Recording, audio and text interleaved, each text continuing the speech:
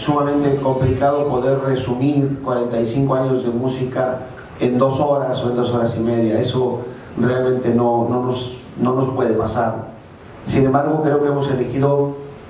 no lo más sobresaliente, lo que creemos en este momento que es más adecuado poder presentar.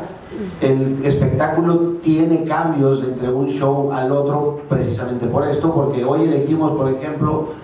elegimos cantar coqueta y, delincuente o, maniquí, ¿no? Y a lo mejor mañana en el próximo show pues vamos a quitar esos y vamos a elegir el ganador y vamos a elegir pues canciones que no pudimos poner en ese mismo show. Entonces la idea es hacer como una especie de recorrido a esta historia de la música a través obviamente de canciones